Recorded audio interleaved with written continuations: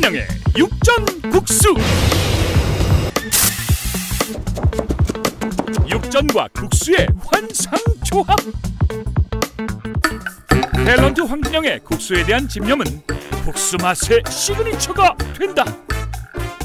전라도 술상 10년 노하우로 직접 개발한 육전국수. 황진영의 육전국수. 파주 교화 사거리에 있습니다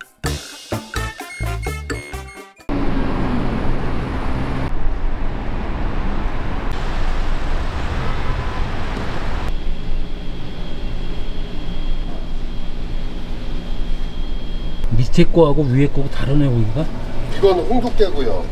이건 차돌 삼겹살이고. 요건 차돌 삼겹살 얘는 차돌 된장 칼국수에 쓰는 고기고 얘는 육전에 쓰는 고기. 자를 고기만 좀 꺼내놔요. 네네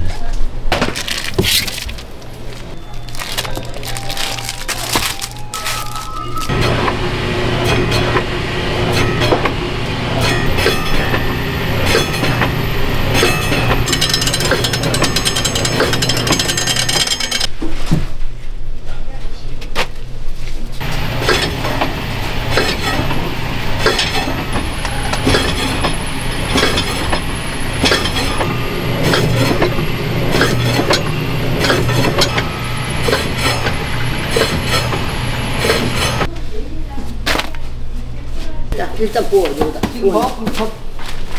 그 가까이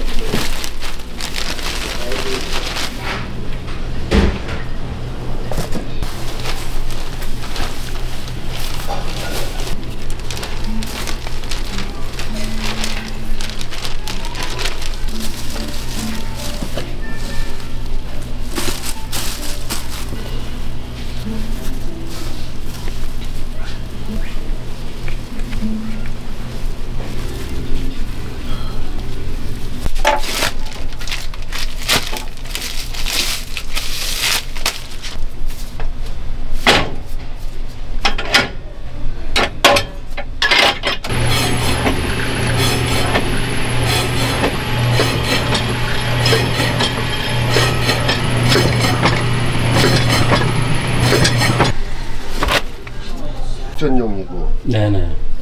이제 이런 건 이제 지단용, 지단정 그렇죠. 예, 고명용으로 차이가 쓰- 나네. 예. 이 고기 모양 때문에. 그렇죠. 이제 손님들한테는 좀 좋은 걸로. 아. 모양도 사이즈도 그렇고 모양도 이쁜 걸로 하고. 네네. 이제 그렇죠. 고명용은 이제 이런 건 붙이기는 좀다 힘들어도 썰어서 나가는- 거라서 나가니까. 이렇게 하는 네. 거. 잠깐 내가 집에 들어가서 식사하면서 네. 이산 두교들 봤어요 아 그러셨어요? 그한 20년 전 얘기죠? 2008년 한 15년 됐구나 네네 아이고 그때 한참 젊으셨을 때 보니까 두께는 보통 몇 밀리예요? 보통 3mm에서 4mm 정도요. 더 두꺼워지면은 일하기는 편한데 질겨질 수가 있거든요.